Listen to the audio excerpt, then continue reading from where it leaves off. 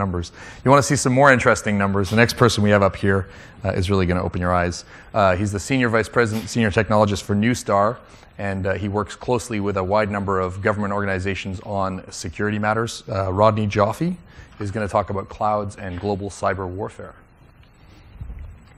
Rodney? I need, your, I need the control. Come on, oh yeah, I got it right here.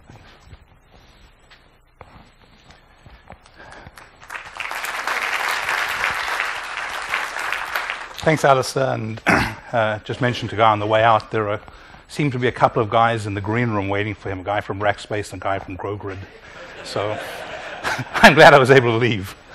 Uh, so I'm going to be talking to you about cloud computing for criminals. Uh, another way of looking at it is my cloud is bigger than your cloud. You have had a whole lot of information this morning and yesterday about the sizes of clouds. And so I'm going to talk about some of the other vendors of clouds that you may not have thought of who uh, have clouds that are quite interesting. They have some good experiences, but they're ones that you may not have heard of before.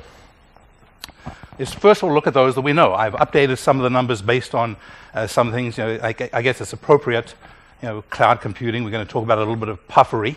So there's some puffery around in terms of size. You saw some of it from Guy. Uh, but Rackspace, let's make an assumption: 75,000 systems or servers uh, let's assume uh, each of them on average has two CPUs, so 150,000. And let's assume there's a lot of bandwidth available, 400 gigabits. Sound reasonable? How about Amazon?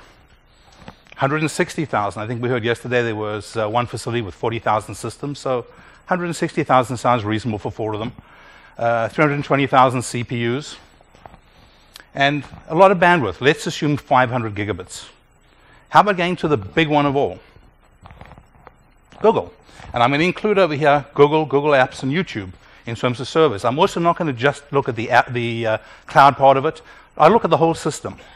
Uh, 500,000 servers, uh, a million CPUs, and about 1,500 gigabits or 1.5 terabits per second of bandwidth. That's obviously the granddaddy of them all. Is that all?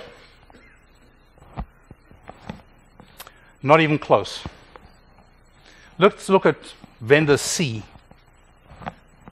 6,400,000 systems, around 18 million CPUs as best we can tell, 28 terabits of bandwidth, and nicely distributed around the world. One of the things we, that uh, Matt talked about earlier was all the places Microsoft would like to be. Uh, 230 countries, facilities. So what it looks like when you look at how it's distributed uh, those individual cities uh, and individual locations. Anyone, anyone have any idea who that vendor might be? You got it. That happens to be Conficker. Very stable, a year old, just over a year old now. And those are some of the specs. So you begin to now understand that we're actually dealing in a different world. There are clouds out there that you may never have thought of that have more computing power and more bandwidth and are more distributed than anything that you actually have available to you today. Except these are probably also available. Is this the only one? No. Here are some others that you might recognize.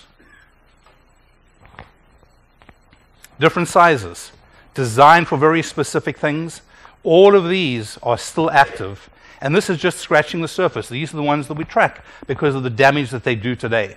But they are nothing other than cloud computing systems. So, are they really like other cloud vendors?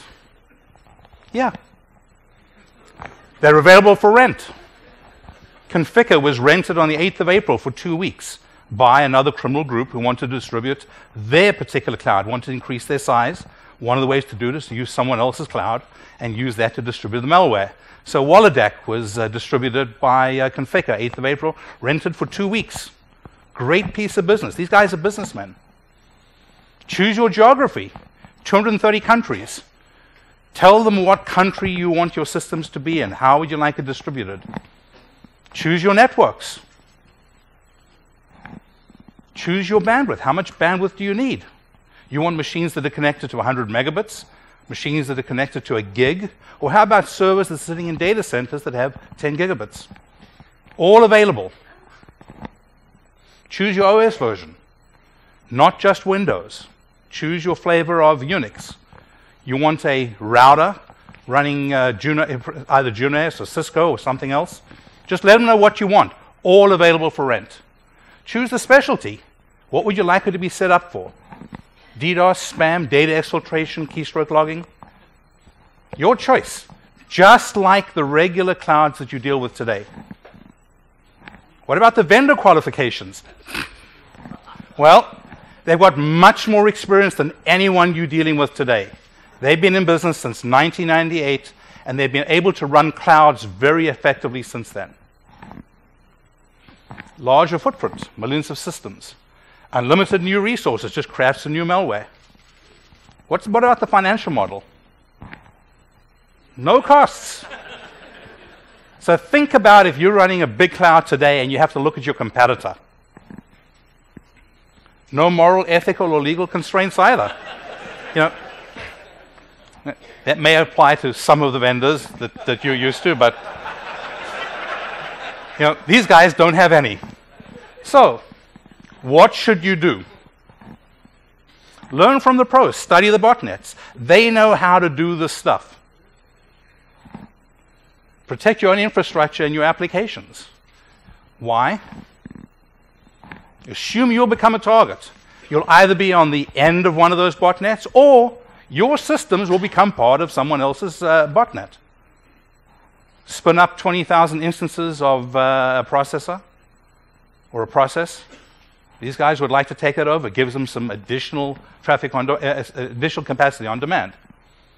They're great learners. One of the things we've learned, for example, in Conficker, in the Conficker working group, these guys learn from what, the mistakes they make, they learn from things that we do, and they improve things. Monitor your systems for parasites. You may be part of one of these clouds. Uh, in, in, some of the systems we've looked at that have been compromised by uh, Conficker, we've found as many as 29 different pieces of malware run and controlled by different people. So someone has a home machine, and they're actually part of 29 different clouds. Make sure your cloud vendors know your, your general behavior. Don't look like a black cloud. Remember that the cloud uh, operators that you deal with today, the folks that have clouds, have to monitor for this kind of uh, behavior.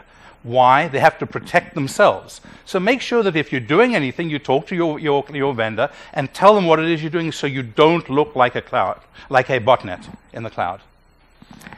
Any questions anyone has, feel free to send me email. Hopefully, this was a little more interesting to you and uh, described a different kind of uh, cloud, but at least it gave you a view that there's actually a lot of growth available.